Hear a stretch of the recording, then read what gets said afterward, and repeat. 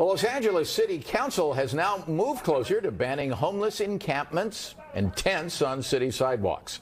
NBC4's Angie Crouch is now going to break down both sides of this heated issue and what will happen next.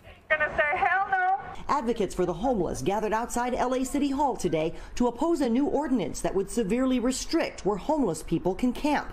The measure will ban encampments from blocking the right of way on sidewalks and near doorways and keep them away from sensitive locations like schools, parks, shelters, and libraries. Homeless advocates say the ordinance criminalizes people for not having a home. We just have to stop saying anywhere but here. Unhoused folks are in our neighborhoods because we have failed policies for the last five decades plus. Inside Inside City Hall, council members listened to dozens of calls from residents and business owners who support the ban. How many of your constituents have to be attacked or killed for you all to realize it's unsafe to allow the homeless to live on residential streets?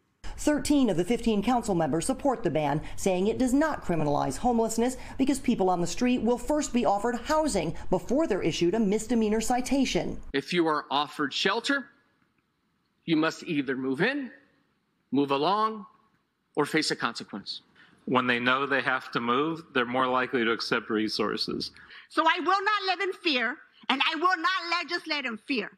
So if you want to come for me, you can go ahead and do that. Westside Councilman Mike Bonin, who himself was once homeless, opposes the ordinance, along with Councilmember Nithya Raman, because the city only has enough units to house 39% of the more than 50,000 homeless, so many will have no place to go. Can't tell you how much turmoil there is in your heart when the sun is setting and you don't know where you can sleep.